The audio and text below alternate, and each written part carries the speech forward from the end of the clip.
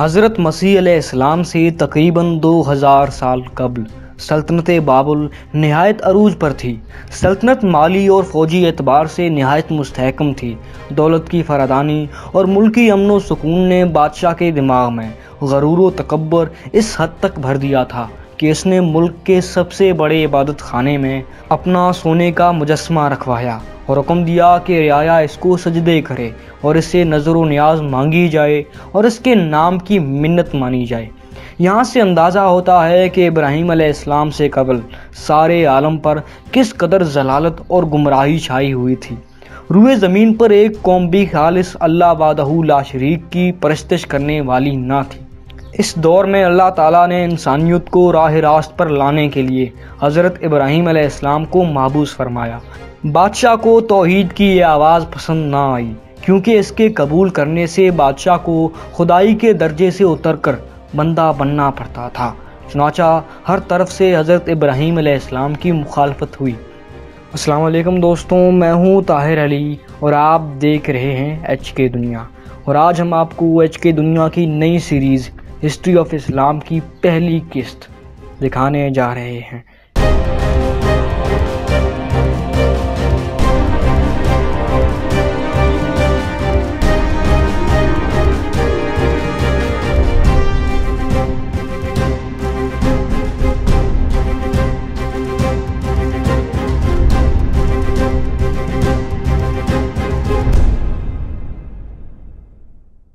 हज़रत इब्राहीम इस्लाम का घराना जो कि बादशाह का मकरब था, अपने नौनिहाल के ख़िलाफ़ हो गया। लिहाजा आपकी तोहद की अमली कोशिश के नतीजे में आपको आग में डाला गया। घर, कौम और सल्तनत की मुखालफत के पेश नज़र आपने अपना वतन छोड़ दिया। आप इस्लाम की बीवी हज़रत सारा और भतीजे हज़रत लूत बिन फारान ने हिजरत करने में आपका साथ दिया। जब आम तारीख निगाहें हज़रत इब्राहीम इस्लाम के नूर हिदायत को न पहुँच सकें तो वो वहाँ से कूच करते हुए मिस्र जा पहुँचे। मिस्र पर उस वक़्त रकूबन नामी हुक्मरान था। वो दरअसल बाबुल का ही बाशिंदा था। बादशाह मिस्र ने हज़रत इब्राहीम इस्लाम की इज़्ज़त नामूस हज़रत सारा को अपने मुल्क की आम खातून समझकर अपने लिए पसंद कर लिया और इनकी इज़्ज़त पर हमला करना चाहा। लेकिन अल्लाह ताला ने जल्द ही मालूम करवा दिया कि ये अल्लाह के पैगंबर की पाक दामन बीवी है। सुनाचा इसने हज़रत इब्राहीम इस्लाम की न्यायत कदर व मंसलत की और जब वो वहाँ से वतन वापस हुए तो इसने अपनी बेटी और कुछ कहते हैं कि अपनी ग़ुलाम जिसका नाम हाजरा था, भी साथ कर दी, ताकि इसकी इस नेक ख़ानदान में तरबियत हो और वो अपने ही मुल्क और कदीम नस्ल के बाशिंदों में ब्याई जाए। चुनाचा हज़रत इब्राहीम ने हज़रत हाजरा से निकाह कर लिया। आपका पहला बेटा हज़रत इस्माइल इन्हीं के वतन से पैदा हुआ। हज़रत सारा से दूसरा बेटा पैदा हुआ, जिसका नाम इसाक रखा गया। अल्लाह ताला ने हज़रत इब्राहीम इस्लाम को पहले ही बता दिया था कि ये दोनों बेटे बाबरकत होंगे और बड़ी बड़ी कौमों के जद आला होंगे और कसरत की वजह से इनकी औलाद का शुमार नहीं हो सकेगा। इसलिए हज़रत इब्राहीम इस्लाम ने अल्लाह ताला के हुक्म और ख़ानदान की दरख्वास्त पर इनके लिए अलहदा अलहदा मुल्क तकसीम कर दिए। मुल्क शाम हज़रत इसाक इस्लाम को दिया, क्योंकि बाबुल इसके मशरक में था, और इसाक को अपने ननिहाल से कुर्बत का मौका मिला, जबकि मुल्क अरब इस्माइल को दिया, क्योंकि मिस्र इसके करीब था, और इस्माइल को अपने ननिहाल से करीब तर रहने का मौका मिल गया। गोया दोनों भाई इस तरह आबाद हुए कि इनके दरमियान कोई तीसरा मुल्क ना था, ताकि वक़्त पर एक भाई दूसरे भाई की मदद करता रहे। हज़रत इब्राहीम इस्लाम की पहली बीवी हज़रत सारा थी। इनके बदन से हज़रत इसाक पैदा हुए, जबकि हज़रत हाजरा के शकन से हज़रत इसमाईल इस्लाम पैदा हो चुके थे। सौगन होने के नाते और फितरत नसुआ के मुताबिक हज़रत सारा को हज़रत हाजरा और इनका लख्त जगर अच्छे नहीं लगते थे, और माँ बेटा दोनों इनकी निगाहों में कटकते थे। हज़रत इसमाइल अभी दूध पीते बच्चे थे कि हज़रत सारा ने हज़रत इब्राहीम इस्लाम को मजबूर कर दिया कि वो इन दोनों माँ बेटों को इनकी निगाहों से दूर कर दें। इसलिए हज़रत इब्राहीम इस्लाम ने अल्लाह ताला के हुक्म से हज़रत हाजरा और अपने बेटे हज़रत इस्माईल इस्लाम को ले जाकर अरब में आबाद कर दिया। हज़रत इब्राहीम इस्लाम ने गुमराही को हिदायत से बदलने के लिए लोगों को तोहद से आशना करने की कोशिशें की। और इराक, मिस्र और शाम की मुतमदन दुनिया में घूम फिर कर अल्लाह का पैगाम सुनाया। मगर कोई सुनने के लिए आमादा ना हुआ तो तोहद की अशात व तबलीग के लिए रेगिस्तान अरब का इंतखब किया, जो अपनी असली फितरत पर मौजूद और तमदन की नक्श आरइयों से पाक था। मुक़दस बाप ने नामवर बेटे की रिहाइश गाह मक्का में तोहद का मरकज़ बनाने की नीयत से बग़ैर छत के एक छोटा सा घर बनाया। हज़रत इसमाईसलाम को इसका मतवली बनाया और फिर इस घर की आबादी, मरकज़ियत और नस्ल इसमाइल की बरकत के लिए अल्लाह ताला से दुआ की। ये रुए ज़मीन पर पहला घर था, जो खालिस अल्लाह वादाहूला शरीक की इबादत के लिए बनाया गया था। फरमान इलाही है, जिसका तर्जमा कुछ यूँ है, तहकीक पहला घर जो ठहरा लोगों के वास्ते यही है, जो मक्के में है बरकत वाला। और मक्का में कोई आबादी ना थी। फिर हज़रत इब्राहीम इस्लाम की कबूलियत दुआ के असर और काबा की कशिश से लोग रफ्ता रफ्ता यहाँ आकर आबाद होने लगे। सबसे पहले जरहम कबीला अतराफ़ मक्का में आकर आबाद हुआ। हज़रत इसमाईसलाम की औलाद में बारह बेटे हुए। उन्होंने अरब को आपस में तकसीम कर लिया। वो बहुत जल्द इस कदर फैल गए कि मगरब की तरफ़ से अपने ननिहाल मुल्क मिस्र से जा मिले और जनूब की तरफ़ इनकी बस्तियाँ यमन तक पहुँच गईं। जहाँ इनके बाप ने इनके भाइयों बनु कतूरा को आबाद किया था और शाम की तरफ़ से वो शाम की सरहद से जा मिले, जहाँ इनके भाई बनु इसाक आबाद थे। तो इस तरह एक ही बाप के फर्जन बाबुल और मिस्र के कदीम इल्म तहजीब के मालिक हो गए और बहर हिंद और भूर अहमर की ऐसी बंदरगाहों पर इनका कब्ज़ा हो गया, जहाँ से वे उस वक़्त की तमाम दुनिया की तजारत पर अपना कब्ज़ा कर सकते थे। और अरब का अंदरूनी हिस्सा भी इनके पास आ गया, जो गैर अकवाम से बचाव के लिए हमेशा नाकबिल तस्खीर हिसार साबित हुआ। हज़रत इसमाईसलाम ने कबीला जरहम के सरदार मजमाब जरहमी की लड़की से शादी की। इससे बारह औलादें हुईं। इनमें से नाबतो केदार की नस्ल ने बड़ा दुनियावी जाहो जलाल हासिल किया। हज़रत इब्राहीम की ज़िंदगी ही में काबा को अरब में मरकज़ी हैसियत हासिल हो गई थी। चुनाचा हज़रत इसमाइल के बाद काबा की तौलीत का मनसब इनके बेटे नाबत के हिस्से में आया और दो ही पुश्तों के बाद आले इसमाइल में इतनी कसरत हो गई कि इन्हें असूल माश के लिए मक्का से बाहर जाना पड़ा। इनके निकलने के बाद बनु जरहम ने काबा की तौलीत पर कब्ज़ा कर लिया। आले इसमाइल ने ननिहाली रिश्ता की वजह से इनसे कोई मजामत ना की और वो मुद्दतों काबा के मतवली रहे। काबे की तौलीत सारे अरब की बादशाहत के मुतरद थी। लेकिन आले जरहम इसके मुतमिल ना हो सके और उन्होंने तौलीत के गमन में बड़ी बदनवानियाँ शुरू कर दी। जब इनकी बदनवानियाँ हद से बढ़ गईं तो आले इसमाइल ने इन्हें मक्का से निकाल कर फिर खाना काबा की तौलीत वापस ले ली और ये मनसब नस्ल दर नस्ल मुंतकिल होता हुआ अदनान तक जा पहुँचा। ये बड़ा तारीखी शख्स है।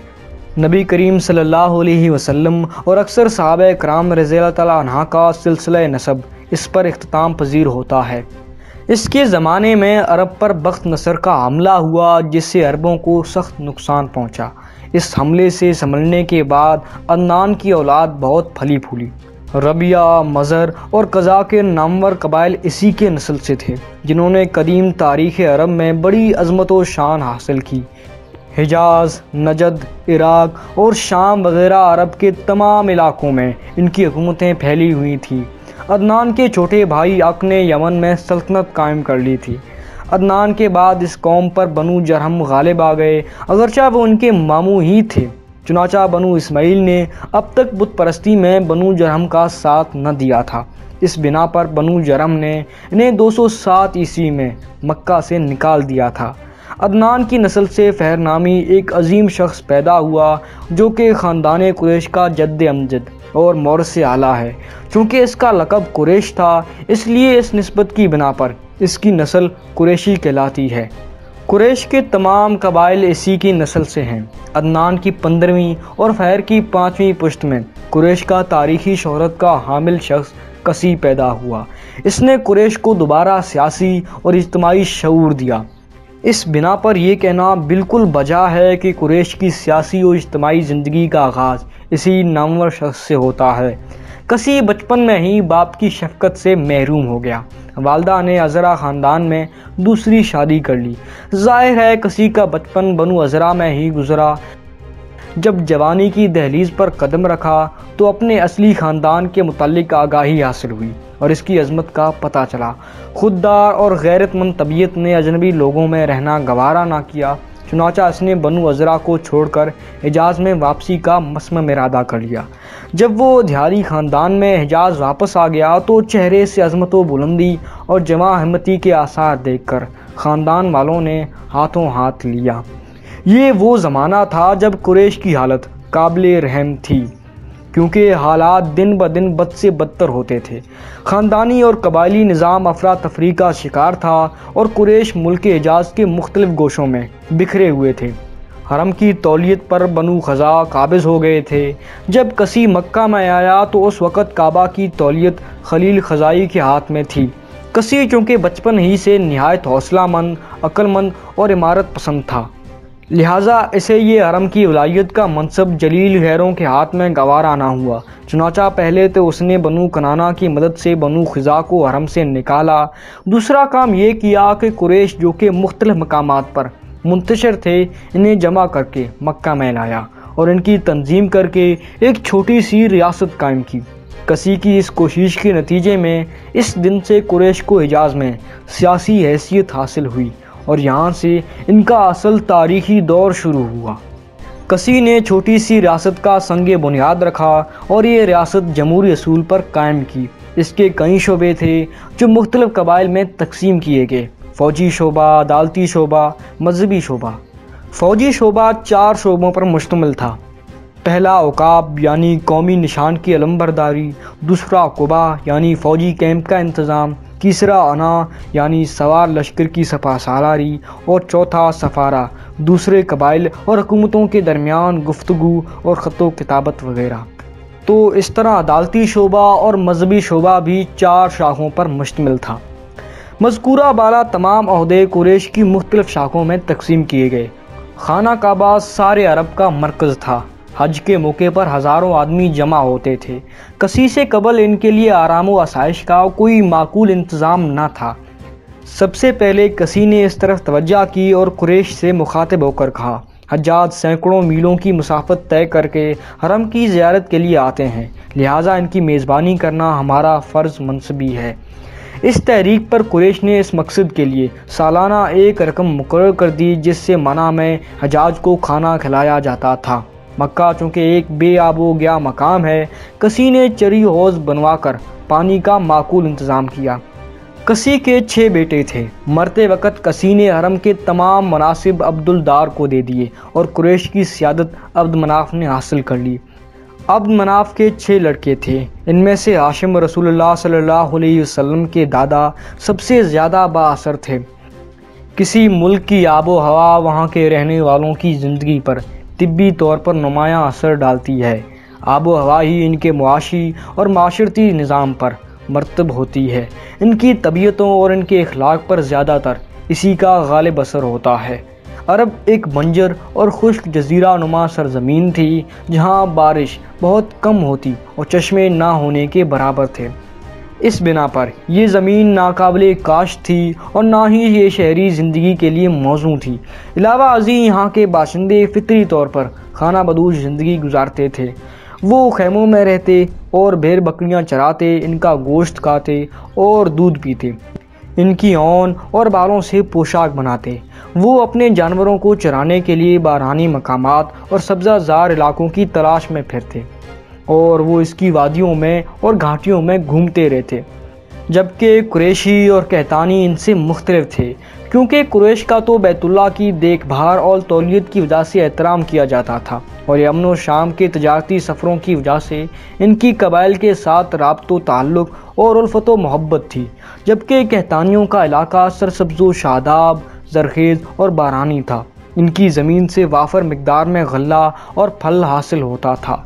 लेकिन जब कहत पड़ जाता और ज़मीन खुश्क हो जाती तो वो आपस में एक दूसरे पर हमले करते और माल वगैरह लूट लेते, जिसकी बिना पर इनके फिक्री रुझानात बिगड़ जाते। मुसलसल लड़ाइयाँ होती थीं, हर तरफ़ बदअमनी थी और आपस में एक दूसरे से नफरत करते थे। कहत और जंग की इन जाहली ज़िंदगी के दो ही मुहर्रक थे। इन्हीं की वजह से वो बहादुरी और सखावत के मदा थे। जबानदानी और फसाद पर उतरते थे। लड़कों को तरजीह देते थे और लड़कियों को ज़िंदा दरगोर करते थे। अफराधी कुत पर नाज करते थे और वसी रिश्तेदारों को बायस गलबा समझते थे। खाना बदूश ज़िंदगी से लगाओ सफ़रों से मोहब्बत और जंगो जदल की वजह से इनकी तबीयतें किसी किस्म की पाबंदी कबूल करने की आदि नहीं थीं। इन पर हरीत नस्बत और वहशत का गलबा था। इनका ना तो कोई इज्तमाही तमदन था, ना सियासी हुकूमत थी, ना फौजी निज़ाम था और ना ही कोई दीनी फ़लसफ़ा था।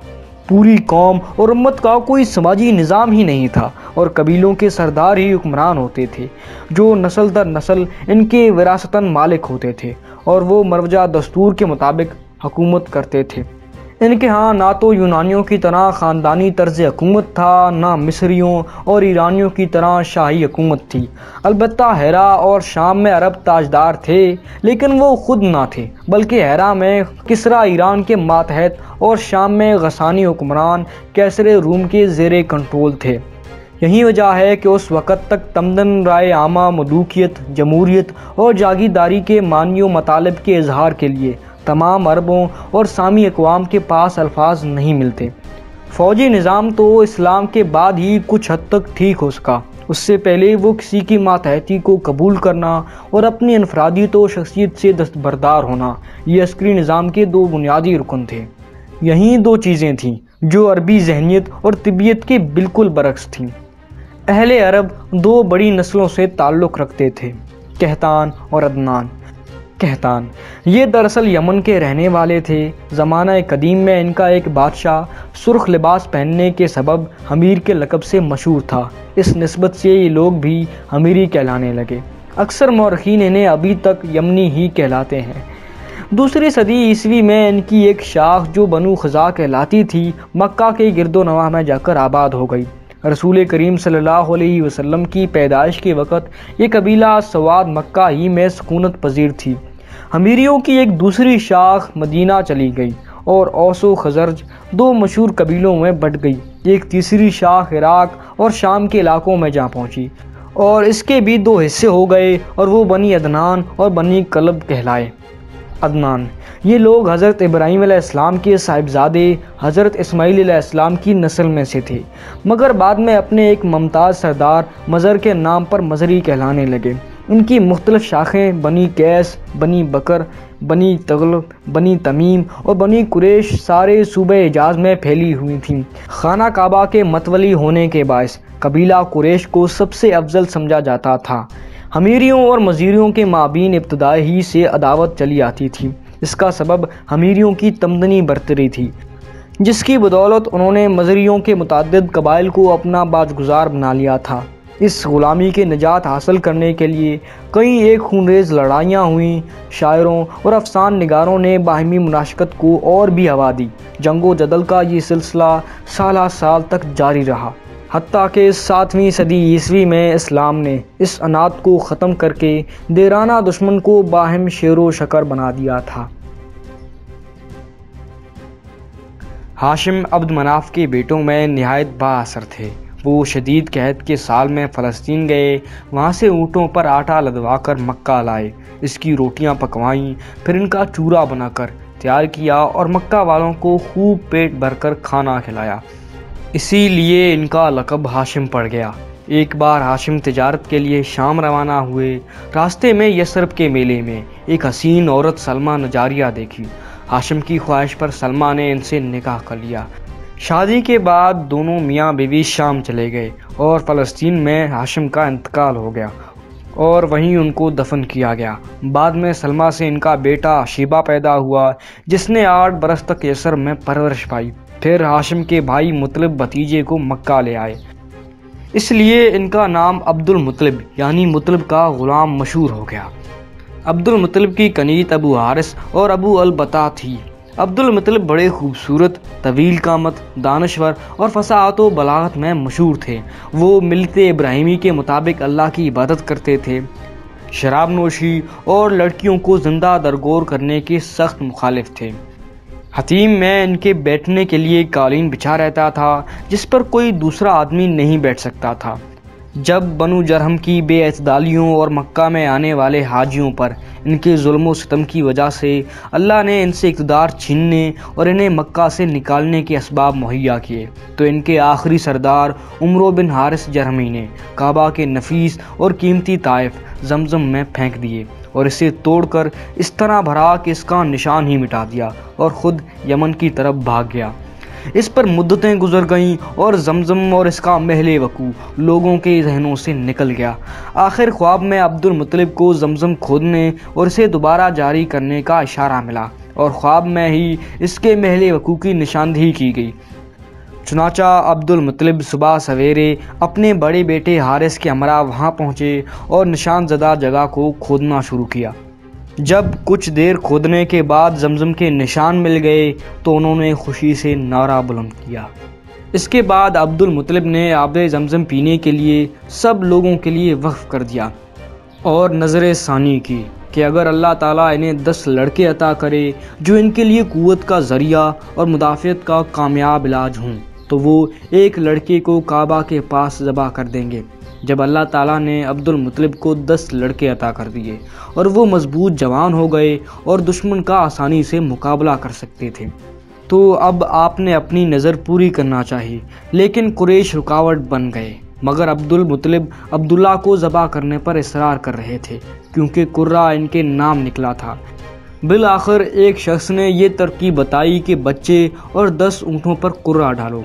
अगर कुर्रा बच्चे के नाम निकले तो दस ऊँट ज़्यादा करके फिर कुर्रा डालो। इस तरह दस दस ऊँट बढ़ाते जाओ हती कि तुम्हारा रब राज़ी हो जाए। जब ऊँटों के नाम कुर्रा निकल आए तो इन ऊँटों को ज़बा कर दो और समझ लो कि अब रब राज़ी हो गया है और तुम्हारे बच्चे की जान बच गई है। चुनाचा उन्होंने ऐसा ही किया बिल आखिर सौ ऊँटों के बाद कुर्रा ऊँटों के नाम निकला। लिहाजा सौ ऊँट ज़बा कर दिए गए। इसके बाद कुरेश बल्कि सब अरबों में सौ ऊँट मुकर की गई। बादशाह नबी करीम सल्लल्लाहु अलैहि वसल्लम ने भी इसे बहाल रखा। ऊँटों के नाम पर कुर्रा निकलने पर हज़रत अब्दुल्ला कुर्बानी से बच गए। तो अब्दुल मुतलिब को इनकी शादी की फ़िक्र हुई। चुनाचा कबीला जहरा के रईस वहब बिन अब मनाफ की साहबजादी हज़रत आमना से इनकी शादी कर दी गई। एक रवायत के मुताबिक शादी के वक़्त हज़रत अब्दुल्ला की उम्र सत्रह बरस से कुछ ऊपर थी। वो तजारत के लिए शाम से तजारती काफ़िले के साथ दोमता जंदल तीमा और खैबर के रास्ते यसर पहुँचे। उस वक़्त आप बीमार थे। आपने काफ़िले वालों से कहा कि मैं अपने मामू बनु अदी बिन नजार के यहाँ ठहरूँगा। वो वहाँ महीना भर बीमारी की हालत में रहे। काफ़िले वाले मक्का पहुँचे, फिर अब्दुल मुतलिब को खबर मिली तो अपने बड़े बेटे हारिस को यसर भेजा। मगर हज़रत अब्दुल्ला इनके पहुँचने से पहले ही फौत हो गए थे और इन्हें दारुलनबागा में दफन किया गया। हज़रत अब्दुल्ला जिनका शादी के थोड़े ही दिनों बाद इंतकाल हो गया, चूँकि महबूब ख़ानदान थे, लिहाजा इनके चले जाने से सारे ख़ानदान को सदमा हुआ।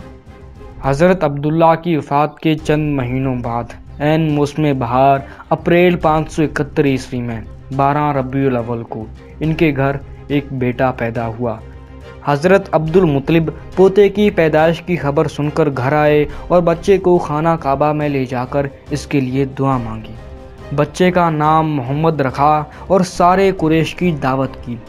अरब में उस वक़्त दस्तूर था कि पैदाइश के वक़्त शुरफा अपने बच्चों को किसी देहाती दाया के हवाले कर देते, जो इसे लेकर गाँव में चली जाती। इस तरह खुली हवा में तंदुरुस्त रहने के अलावा बच्चों में अहल अरब की हकीकी खसूसियात भी पैदा हो जाती और वो खालिस अरबी ज़बान सीख जाते। चुनाचा विलादत के आठ दिन बाद नबी करीम सल्लल्लाहु अलैहि वसल्लम, कबीला बनी साद की एक खातून हलीमा के स्पर्द हुए। बनी साद अपनी नसात में मशहूर थे तकरीबन छः साल तक हलीमा सादिया ने आप सल्लल्लाहु अलैहि वसल्लम की परवरिश की, इसके बाद वापस लाकर वालदा के स्पर्द कर दिया। हज़रत अब्दुल्ला के इंतकाल के बाद हज़रत आमना हर साल इनकी कब्र की ज्यारत को मदीना मनवरा तशरीफ़ ले जाया करती थीं। छठे साल रसूलुल्लाह सल्लल्लाहु अलैहि वसल्लम भी इनके हमरा तशरीफ़ ले गए। वापसी पर हज़रत आमना बीमार हो गईं और अबवा के मकाम पर इंतकाल फरमाया। वालिद साहब तो पैदाइश से कबल ही चल बसे थे छः साल की उम्र में। वालदा का साया भी सर से उठ गया। आप सल्लल्लाहु अलैहि वसल्लम के दादा अब्दुल मुतलब को शुरू हुई से आप सल्लल्लाहु अलैहि वसल्लम के साथ मोहब्बत थी। माँ के इंतकाल के बाद उन्होंने रसूल अकरम सल्लल्लाहु वसल्लम को अपनी सरपरस्ती में ले लिया। लेकिन जब आप सल्लल्लाहु अलैहि वसल्लम की उम्र आठ बरस, दस दिन की हुई तो आप सल्लल्लाहु अलैहि वसल्लम के शफीक दादा भी रहलत फरमा गए। आप सल्लल्लाहु अलैहि वसल्लम के दादा अपने इंतकाल से कबल, हजूर अकरम सल्लल्लाहु अलैहि वसल्लम को इनके हकीकी चचा हज़रत अबू तालिब के हवाले कर गए। चचा ने यतीम भतीजे की परवरिश बाप की तरह की और इन्हें अपनी हकीकी औलाद से भी ज़्यादा अज़ीज़ रखा। रसूल अकरम अलैहि वसल्लम जब 12 साल के हुए तो हज़रत अबू तालिब शाम के तजारती सफ़र पर जाने लगे। तो आप सल्लल्लाहु अलैहि वसल्लम भी इसरार करके साथ चले गए। जब काफिला मुल्क शाम पहुँचा तो ईसाइयों के एक राहब ने हजूर नबी करीम सल्लल्लाहु अलैहि वसल्लम के मतलब नबी आखिर जमा होने की पेशन गोई की और हज़रत अबू तालिब से कहा कि इसे यहूदियों के मुल्क में न लेकर जाओ, वो कहीं इसे पहचान कर तकलीफ़ न पहुँचाएँ। चुनाचा हज़रत अबू तालिब ने आप सल्लल्लाहु अलैहि वसल्लम को मुल्क शाम से वापस लाया। पंद्रह बरस की उम्र में आप सल्लल्लाहु अलैहि वसल्लम ने एक जंग में हिस्सा लिया, जिसे हरब फिजार कहते हैं। इसलिए कि ये लड़ाई अयामुल अहराम में हुई। इस लड़ाई में कुरैश और बनु कैस का आपस में मुकाबला था। अगरचा कुरैश सच्चाई पर थे, ताहम आप सल्लल्लाहु अलैहि वसल्लम ने कश्तो खून में ऐसा नहीं लिया। आप सल्लल्लाहु अलैहि वसल्लम सिर्फ़ दुश्मन के फेंके हुए तीर उठाकर अपने चचाओं को देते थे। लड़ाई का खात्मा बिलाकर सुलह पर हुआ। हल्फल फजूल एक मुकदस और पाकिज़ा माहा था। ये अब्दुल्ला बिन जदान के घर मुनद हुआ। इसके पहले महर्रक और दाई रसूल अक्रम सल्लल्लाहु अलैहि के चचा ज़ुबैर बिन अब्दुल मुतलब थे।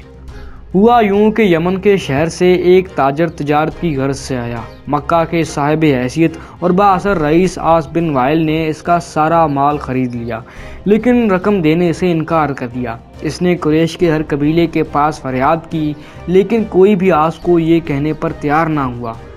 तो इसने जबल अबू कबीस पर चढ़कर पुरसोज अशार पड़े, जिनको सुनकर हज़रत ज़ुबैर बिन अब्दुल मुतलब का दिल पिघल गया। चुनाचा उन्होंने अपने हलीफ कबाइल को गैरत दिलाई।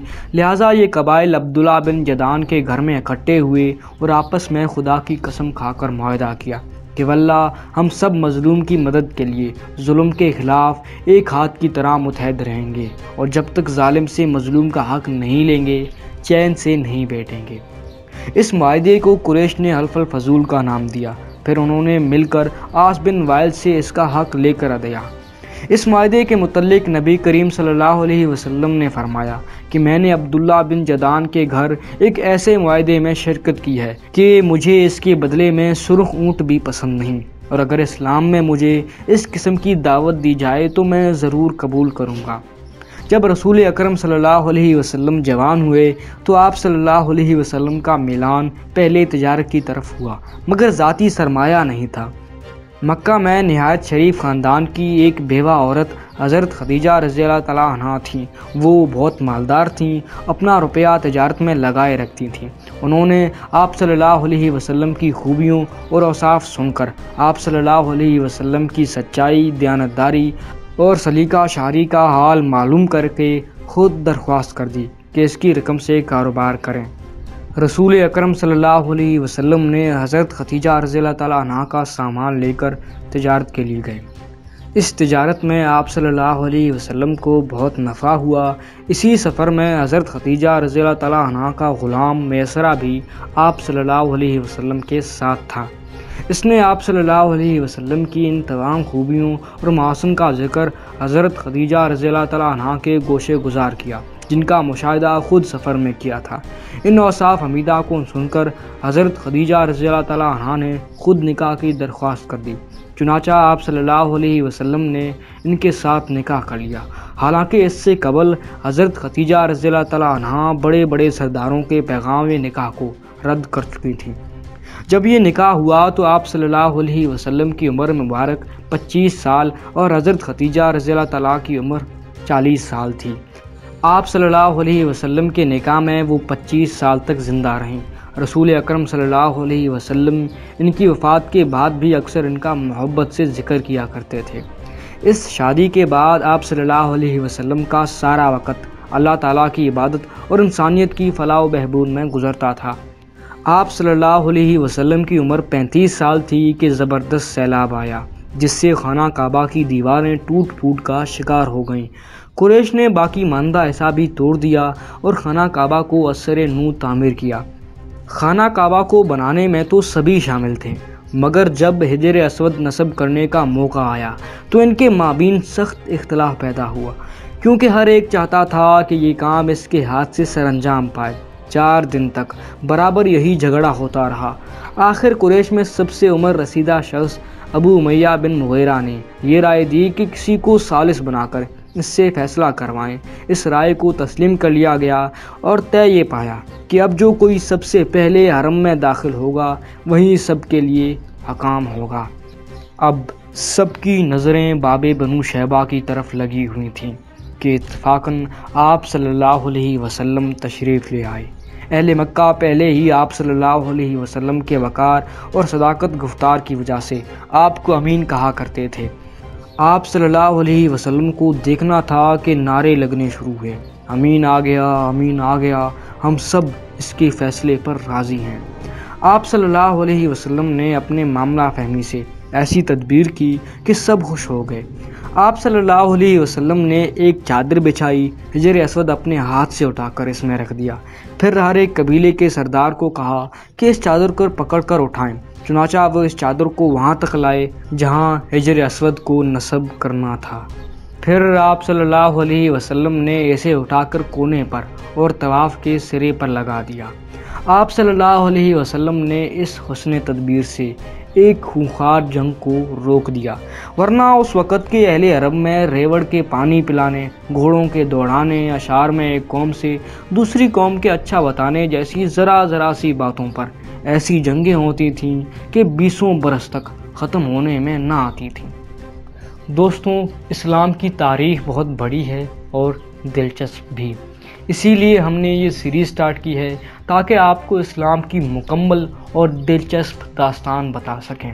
अगर आपको ये वीडियो अच्छी लगी हो तो लाइक करें, दोस्तों के साथ शेयर भी करें और हमारे चैनल को सब्सक्राइब करें। तो फिर मिलेंगे एक नई वीडियो के साथ। तब तक के लिए शुक्रिया और खुदा हाफिज़।